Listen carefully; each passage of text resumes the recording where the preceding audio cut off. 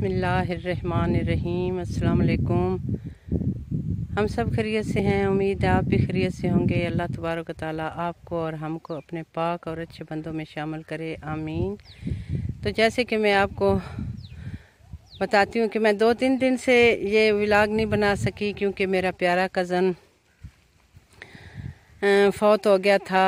इन्ना लिल्ला है व लहरा जून अल्लाह तबारक ताली उनको जन्नतफरदोस में जगह दे। तो वो अपनी बहनों का हमदर्द और सिला रहमी वाला भाई और अपने बच्चों का शफीक बाप था। तो ये अल्लाह तबारक ताला के निज़ाम है। इंसान में इसका कोई अमल दखल नहीं है। ज़िंदगी मौत की अमानत है तो इंसान क्या कर सकता है? ये अल्लाह की रज़ा।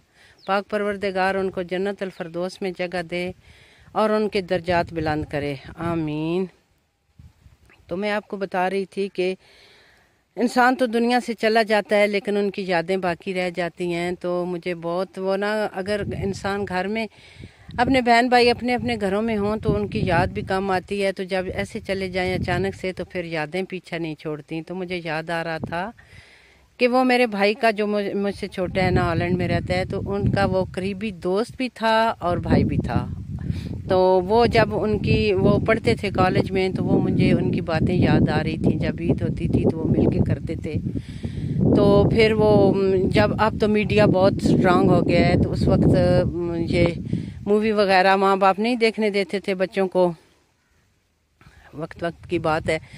तो फिर वो जो मेरे भाई थे ना, ये मेरा भाई और वो मेरा जो कज़न था, वो कहते था कि मैं अपनी नानी नाना को मिलने जा रहा हूँ। अपने अबू को कहता था और मेरा भाई कहता था कि मैं फुप्पो को मिलने जा रहा हूँ।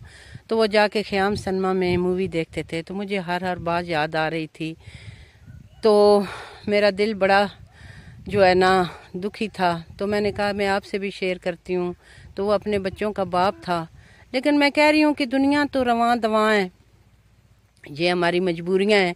कोई चीज़ रुक के नहीं रहती, ये अल्लाह ताला के निज़ाम है। तो अल्लाह, ये उनके बच्चों का बहुत अफसोस लगता है और उनकी बहनों का, लेकिन अल्लाह ताला के सिस्टम है ना, ये हम मुसलमान हैं, हमारा ईमान होना चाहिए कि अल्लाह ताला ने हर चीज़ का ज़िम्मान लिया है। तो इन अल्लाह तबारक ताली हर चीज़ आगे से ज़्यादा अच्छी होगी, लेकिन जो जाता है ना, नुकसान उसी का होता है।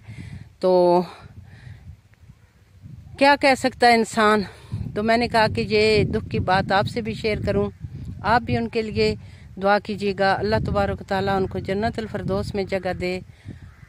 तो पिछले जो हमारे ख़ानदान वाले हैं तो मैं कह रही थी कि दुनिया का तो कोई काम भी रुक के नहीं रह सकता। तो चलते रहते हैं। तो दुख अपनी जगह चलते रहते हैं क्योंकि अल्लाह तबारक ताली ने इंसान को दुख और सुख की डोरी में बाँध दिया है। और जो दुख अल्लाह ताला देते हैं ना इंसान को, उसका अजर सवाब भी बढ़ा देते हैं और उसका सिला भी बहुत देते हैं, जैसे हम सब्र और शुक्र से बर्दाश्त करें, क्योंकि हमारे बस में तो कोई चीज़ भी नहीं है। तो बस मैं इतना ही कहूँगी कि दुनिया तो रवां दवा है, शाद आबाद रहेगी दुनिया, हम ना होंगे कोई हमसा होगा।